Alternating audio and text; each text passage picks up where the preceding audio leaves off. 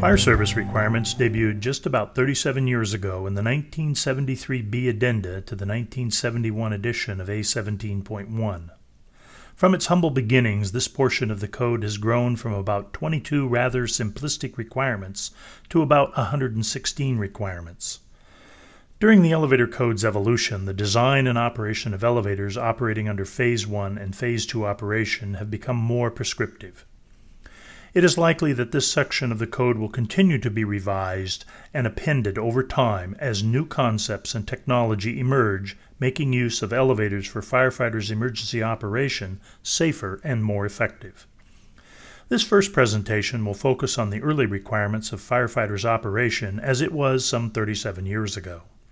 We will then compare that with today's requirements to give you a then and now view of firefighters' emergency operation. Under the 1973B edition of the code, elevators having a travel of 25 feet or more were required to be provided with fire service operation. Similar to today's requirements, a three-position keyed switch was required to be provided at the main floor. The positions were to be labeled on, off, and bypass. However, the code did not specify any particular order. Thus, they may be found in any order just so long as the three functions are present. Much like today, the elevators under control of this keyed switch must recall to the main floor. Note that the designated level was referred to as the main floor. It should also be noted that there were no requirements for alternate floor recall. When the keyed switch is turned to the on position, the elevator will be recalled to the main floor. Elevators traveling away from the main floor must stop at the available floor without opening its doors, and then proceed non-stop to the main floor. Elevators with power-operated doors and stopped at a floor with the doors open must close the doors immediately and move to the main floor. Door reopening devices susceptible to smoke must be rendered inoperative. Directional lanterns, all registered car and hall calls must be extinguished and will remain inoperative. Once the doors are closed and the elevator begins moving toward the main floor, the stop switch in the car must be overridden. It should be noted that in most elevators of this vintage, keyed switches were not required for the in-car stop switch. This requirement deals with fire alarm initiating devices, commonly known as sensing devices under this edition of the code. Rule 211.3a1f states that detectors or sensing devices are not allowed to be used in lieu of the five previous requirements. In the 1973B addenda, detectors were also required at each elevator lobby except the main floor. There were no detectors required in elevator machine rooms or hoistways by this version of the elevator code. Activation of a lobby sensing device would cause all elevators that serve that lobby to return to the main floor and open their doors. The bypass position would allow the elevators to operate in normal mode regardless of the state of the sensing devices. Some exceptions to sensing device requirements were in buildings that were completely sprinklered, freight elevators with openings into manufacturing areas, and lobbies at unenclosed landings. Unenclosed landings are those that are open to the outside atmosphere. There was also a provision for instances where an elevator did not serve a grade level landing. It must recall to another approved landing in the building. The recall requirements are identical to elevators recalling to a grade level floor. Elevators with a travel of 70 feet or more, and any elevators having a terminal landing that is more than 70 feet above the lowest grade of the building, was required to be provided with a special keyed switch located in the elevator car. The key is similar in labeling and operation as the keyed switch located at the main floor. This switch is only operable when the main floor keyed switch is in the on position. The car must also have been recalled to the main floor for this switch to work. The key is removable only in the off position. The bypass position must be spring-loaded. When turned to this position, the key must be held in the bypass position. This will allow the elevator to operate with the hoistway door interlocks and the gate switch bypassed. However, travel is limited in the direction of the main floor or approved level only.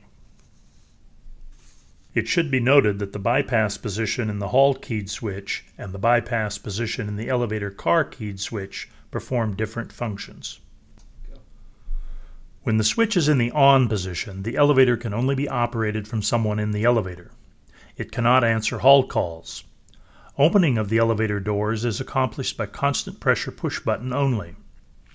As with today's code, if the door open button is released before the doors are fully open, the doors will start to close immediately. Door close can be initiated by either pressing the door close button or by pressing a car call button. Unlike today's requirements, it is important to note that the language did not require maintaining constant pressure on the door close button or car call button in order to have the doors close completely. Multi-deck elevators that serve two floors simultaneously are required to meet certain criterion, although there are some practical differences. They are required to have a three-position keyed switch located at the main floor. It must comply with the requirements for sensing devices. It must be able to be recalled to the main floor or other approved floor. If the elevator has a travel of 70 feet or more, it must be equipped with a three-position keyed switch in the car. And finally, the keys for the main floor switch and the in-car switch must be the same. It should be noted that the location of the means in the corridor is not specifically mentioned. It is interpreted that the means would most likely be located adjacent to the lower level entrance. Keys to operate the main floor keyed switch and the in-car emergency operation switch must be the same and there needs to be a key for each keyed switch. Thus, if there are four elevators in the group, there needs to be a total of five keys a key for each elevator and one for the keyed switch at the main floor. The keys must be kept on the premises, but not where they are accessible to the general public.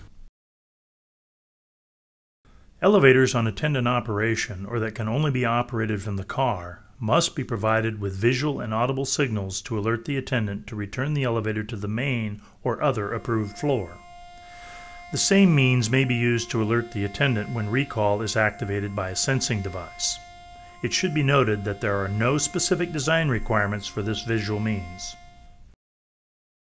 Elevators with automatic and attendant operation must operate as previously mentioned for attendant operated elevators. When on automatic mode, they must operate as required by rules for automatic elevators. It should be noted that attendant operation includes independent and hospital service also. Instructions are required to be provided that indicate the operation of elevators under fire and other emergency conditions.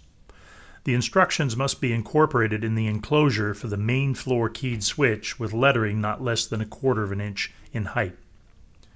It should be noted that the specific language required for the instructions was not part of the code at this time. Finally, testing of fire service operation is required to be performed on routine and other required tests. There are now about five times as many requirements as was first introduced in the 1973B addenda to the 1971 edition.